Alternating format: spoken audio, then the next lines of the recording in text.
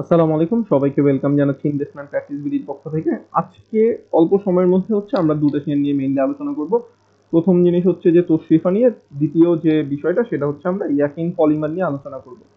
তো তোশরিফার প্রথম বিষয়টাই আমি সবার আগে একটু বলতে চাচ্ছি যে তোশরিফা আমরা দেখছি।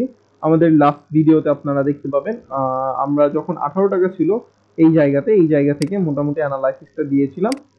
অলরেডি হচ্ছে এখন সেভেন্টি পার্সেন্ট বা সিক্সটি এইট পার্সেন্ট সে হচ্ছে আপ ট্রেন্ডে ছিল। অর্থাৎ যারা আঠারো টাকার পজিশনে নিয়েছে তারা সেভেন্টি পার্সেন্ট প্রফিটে এখনই আছে। তো তারপর আমি একটু আলোচনা করি যে এখন তাহলে কি পজিশন বা কেমন হওয়ার সম্ভাবনা থাকতে পারে। বর্তমান যে জায়গা, সেটা হচ্ছে আঠাইশ টাকা আর নব্বই পয়সার দিকে আছে। আর মাঝখানে হচ্ছে কিছুটা কারেকশন করছিল, অর্থাৎ যখন উনত্রিশ টাকার দিকে গেছিল, তারপর আবার সেটা নেমে ছাব্বিশ পঞ্চাশ বা ইভেন ছাব্বিশ টাকা পর্যন্ত নামছিল। এরপর আবার তিরিশ টাকা পর্যন্ত কন্টিনিউ করছে। তো এখন কি তাহলে এইটার স্ট্রেংথ আছে নাকি বা থাকলে কতটুকু স্ট্রেংথ আছে? এই জায়গাটা আমরা একটু আলোচনা করব। প্রথম কথা হচ্ছে যে এটা কি আন্ডার ভ্যালুড নাকি ওভার ভ্যালুড নাকি ফেয়ার ভ্যালুতে আছে? বর্তমানে যে পজিশন আমার মতে আমার পারসেপশন থেকে এটা ফেয়ার ভ্যালুতে আছে। কারণ কি? কারণ হচ্ছে এটা নেট তিরিশ টাকা, বর্তমানে পজিশন প্রায় আঠাশ টাকার দিকে আছে। ইপিএস এক টাকা টোটাল নাম্বার অফ শেয়ার হচ্ছে ছয় কোটি আশি লক্ষ, যেটা হচ্ছে লো পেড বলা যেতে পারে। আর পি রেশিও হচ্ছে আপনার বাইশ তো এই জায়গাতে ওভারঅল এই ফিনান্সিয়াল বা ফান্ডামেন্টাল জায়গাগুলো ক্যালকুলেশন করে, যেমন লাস্ট যদি ডিভিডেন্ডটা দেখি ডিভিডেন্ডও দুই পার্সেন্ট স্টক তিন পার্সেন্ট ক্যাশ অর্থাৎ ডিভিডেন্ডও দিচ্ছে। তো এই ব্যাপারগুলো হিসেব করলে বোঝা যায় যে বর্তমানের জায়গাটা একটা ফেয়ার পজিশনে বা ফেয়ার ভ্যালুতে অবস্থান করতেছে। আচ্ছা এই গেল হচ্ছে তার ফান্ডামেন্টালের জায়গা, অর্থাৎ আন্ডার ভ্যালু ছিল যখন এই জায়গাতে ছিল, বর্তমান জায়গাতে ফেয়ার ভ্যালুতে আছে। ইভেন যদি ছত্রিশ টাকার দিকে যায়, তাহলে ফেয়ার ভ্যালুতে হবে, নাকি খুব বেশি ওভার ভ্যালুড হবে, এখন এই জিনিসটা নিয়ে একটু আলোচনা করব। বর্তমানে যে ব্যাপারটা আমরা দেখতে পাচ্ছি, অর্থাৎ কিছুটা এর আগে আপনার সাপ্লাই অর্থাৎ প্রফিট টেক করা হয়েছে সাপ্লাই অ্যাভেলেবেল হয়েছিল এই পজিশনটাতে এই পজিশনটাতে সাপ্লাই অ্যাভেলেবেল হয়েছে। যখন প্রফিট টেক করে সাপ্লাই অ্যাভেলেবেল হয়ে গেছে, তারপর একটা বড় রেড ক্যান্ডেল দেখতে পাচ্ছেন, যেটাকে আমি মনে করতেছি যে এটা একটা সাপ্লাই টেস্ট ছিল। কারণ এটার বোঝা যাচ্ছে ক্যান্ডেল দেখে ভলিউম দেখে, সবকিছু দেখে হিসেব করে। কারণ এর পরপরই আপনি দেখবেন যে ডিমান্ড জোনে যখন সাপ্লাই টেস্ট করে ডিমান্ড জোনে চলে আসছে, তারপরে কিন্তু আবার চার টাকার একটা গ্যাপ দিয়ে নেক্সট রেজিস্ট্যান্সের দিকে গেছে। অর্থাৎ একটা কারেকশন হয়েছে সাপ্লাই টেস্ট হয়েছে দেন আবার চার টাকার গ্যাপ দিয়ে উপরের দিকে গেল। যার জন্য আমরা এই ক্যান্ডেলটাকে সাপ্লাই টেস্ট হিসেবে ধরতে পারি। অর্থাৎ, এখানে কিন্তু এখনও অ্যাভেলেবেল সাপ্লাই আসেনি। অর্থাৎ সামনে তাহলে আমরা অ্যাভেলেবেল সাপ্লাই দেখতে পাবো। কারণ অনেকে এই জায়গাতে পারচেস করেছে বা বাই করেছে যাদের টার্গেট হয়তো তিরিশ, বত্রিশ, পঁয়ত্রিশ টাকা। অনেকে হয়তো এই জায়গায় পারচেস করছে, যাদের টার্গেট আরেকটু উপরে। তো আমরা আশা করি সেটা উপরের দিকে সাপ্লাই দেখতে পারব, যদি উপরের দিকে যায়। উপরের দিকে যাওয়ার সম্ভাবনা আছে নাকি? এই বিষয়টা নিয়ে যদি আলোচনা করি, আমি মনে করি যে এটা আমার চিন্তা ভাবনা যেহেতু এখন টেক্সটাইল সেক্টরটা মুভমেন্টে আছে, যদি টেক্সটাইল সেক্টর এইভাবেই মুভমেন্টে থাকে বিগত সপ্তাহে আমরা দেখছি দুই, তিন দিন টেক্সটাইল সেক্টর ভালো মুভমেন্টে ছিল যদি ওই রকম মুভমেন্টে থাকে, তাহলে কিন্তু কারেকশনটা খুব বেশি হবে না। আলটিমেটলি তো স্লিপার টেক্সটাইল চেষ্টা করবে এই জোনটাকে ব্রেকআউট করতে। অর্থাৎ তিরিশ টাকার যে রেজিস্ট্যান্সটা আছে, এই লেভেলটাকে ব্রেকআউট করে সে হচ্ছে এই লেভেল পর্যন্ত যাওয়ার চেষ্টা করবে যদি টেক্সটাইল সেক্টরটা মুভমেন্টে থাকে। যদি ওই রকম না থাকে নিউট্রাল থাকে, খুব একটা আপনার রেডও না গ্রিনও না, এরকম যদি থাকে, তাহলে আমার মনে হয় এই জায়গাতে সে হচ্ছে একটা সাইড লাইন ক্রিয়েট করতে পারে। ইভেন কিছুটা হয়তো আমরা যে এখানে মোটামুটি ছোটখাটো একটা সাপোর্ট দেখতেছি, এই সাপোর্ট ব্রেক করে এই জায়গা পর্যন্ত আসতে পারে। অর্থাৎ আঠাইশ টাকা পর্যন্ত, বর্তমান জায়গা আঠাইশ উনত্রিশ আছে, তো আঠাইশ টাকা পর্যন্ত হয়তো কারেকশন পর্যন্ত আসতে পারে বা সাইডলাইন ক্রিয়েট করতে পারে। এক সপ্তাহ বা দুই সপ্তাহ মার্কেটের উপর ডিপেন্ড করতেছে। যদি টেক্সটাইল সেক্টরটা মুভমেন্ট দেয়, তাহলে এই রেজিস্ট্যান্সটা ব্রেকআউট করে উপরের রেজিস্ট্যান্সে যাওয়ার সম্ভাবনা খুব বেশি আছে। অ্যান্ড আলটিমেটলি ছত্রিশ টাকা পর্যন্ত যাওয়ার পর সেটা কিন্তু কারেকশনে আসবে। কারণ এই যে একটা র্যালি করছে আপ ট্রেন্ডের আমরা খুব বেশি কারেকশন এখনও দেখতে পাইনি, যতটুকু হওয়ার কথা। সেভেন্টি পার্সেন্ট আপ ট্রেন্ডে ছিল বাট আপনি কিন্তু দেখবেন না যে টেন টোয়েন্টি পার্সেন্টের মতো কারেকশন হয়েছে। সো দুটা বিষয়, একটা হচ্ছে এই জায়গাতে সাপ্লাই অলরেডি কিছুটা অ্যাভেলেবেল হয়েছে, হওয়ার পর আবার ডিমান্ড ক্রিয়েট হয়েছে। সো আমি মনে করতেছি না এখানে খুব একটা সাপ্লাই আসবে।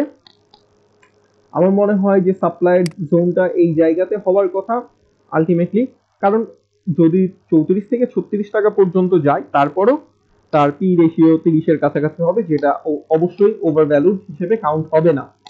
ফেয়ার প্রাইস বলা যেতে পারে। যার কারণে আমি এই পজিশনটা ধরে নিতে পারতেছি। এখন দেখার বিষয় যে আগামীতে কি করে, তার উপর ভিত্তি করে হয়তো আমাদের নেক্সট অ্যানালাইসিস বা সেটা আমরা অবজার্ভ করব। তো আমি যদি সাম আপ করে বলি, আপনারা তাহলে দুটো জিনিস দেখতে পারেন।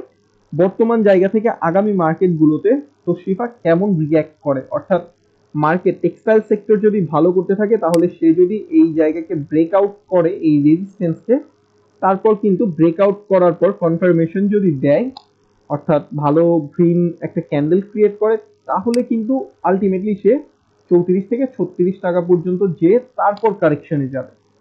যদি মার্কেটের মুভমেন্ট স্লো থাকে টেক্সটাইল সেক্টরের মুভমেন্ট স্লো থাকে, তাহলে সেইখানে চেষ্টা করবে ব্রেক করার বাট আমার মনে হয় যে হয়তো মার্কেটের কারণে তার ইম্প্যাক্ট ব্রেকআউটটা হবে না। আলটিমেটলি সে হচ্ছে কারেকশন করে এই জায়গায় সাইডলাইন ক্রিয়েট করবে।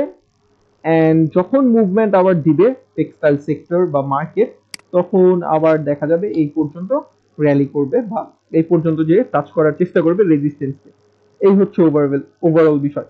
তো বর্তমানে সাপোর্টটা আমি মনে করতেছি যে এখন যদি আপনি সাপোর্ট হিসেবে কাউন্ট করেন যে একেবারে সাপোর্ট কতটুকু ধরা যেতে পারে? আমি মনে করি চব্বিশ থেকে পঁচিশ টাকার জায়গাটা হচ্ছে একটা সাপোর্ট হিসেবে ধরতে পারেন এর নিচে যে বিষয়টা, সেটা আপাতত এখন না নামার সম্ভাবনা বেশি। এই হচ্ছে কথা। এরপর হচ্ছে ইয়াকিন পলিমার একটু দেখি। ইয়াকিন পলিমারের যে বর্তমান অবস্থা, এটা কিছুটা আশ্চর্যজনক বলা যেতে পারে, কারণ এই শেয়ারের ন্যাপ পাঁচ টাকা পঁয়ত্রিশ পয়সা ইপিএস এক টাকা মাইনাস এক টাকা টোটাল নাম্বার অফ শেয়ার কম আছে, সেটা এক না বাট ওভারঅল পারফরমেন্স তো খারাপ। পি রেশিও মাইনাসে পি রেশিও যেহেতু ইপিএস মাইনাস তো এই শেয়ারের ভ্যালুয়েশন আপনি যদি দেখেন যে এটা কিন্তু আঠাইশ টাকার মধ্যে টাচ করছে। সো আপনি যদি দুটাকে কম্পেয়ার করেন, অর্থাৎ তশরিফাকে যদি ইয়াকিন পলিমারের সাথে কম্পেয়ার করেন, আপনি কিন্তু দুটা জিনিস বুঝতে পারবেন। যেহেতু দুটার প্রাইসিংটা কাছাকাছি পর্যায়ে চলে আসছে। তো সেই হিসাবে তশরিফা কিন্তু পার পার পার বেটার এই জায়গাতে কিন্তু আপনি বুঝতে পারবেন যে আসলে এই মতো একটা শেয়ারে অর্থাৎ যেটা ন্যাপ, পাঁচ টাকা ইপিএস এক টাকা মাইনাস এই শেয়ারেও মানুষ ইনভেস্ট করতেছে। আমি জানি না কীভাবে বা কোনভাবে। আমার কাছে বর্তমানের যে জায়গাটা ইয়াকিন পলিমারের, এই জায়গা কিন্তু এখন অলরেডি আপনার আপ ট্রেন্ড করার পর সাপ্লাই অ্যাভেলেবেল হয়ে গেছে। এখন কিন্তু এটা আস্তে আস্তে ডাউন ট্রেন্ডে নাম, নামবে বলে আমার মনে হচ্ছে।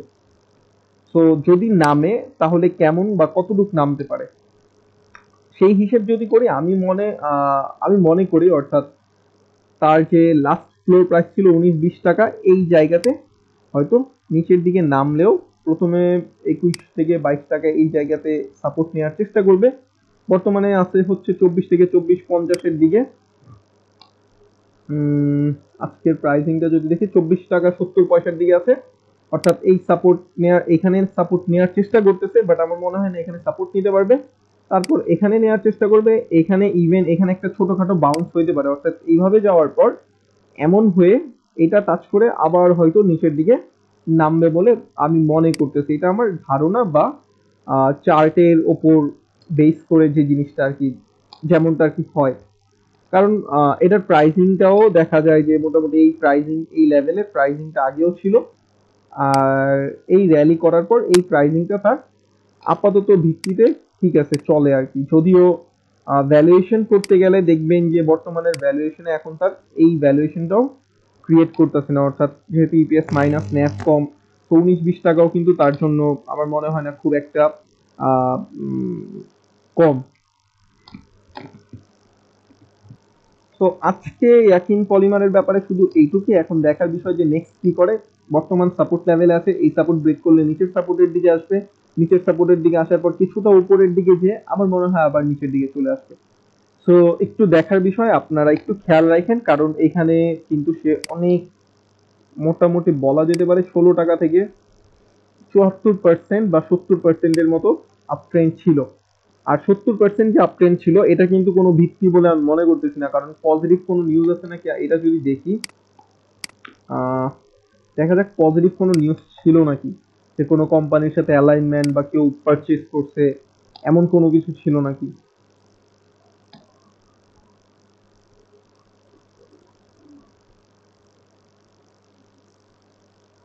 আচ্ছা আমরা জুনের তেরো তারিখে হচ্ছে দেখছি যে কোম্পানিতে তিরিশ দিন বন্ধ থাকবে ইলেকট্রিক্যাল কাজের জন্য। তারপর হচ্ছে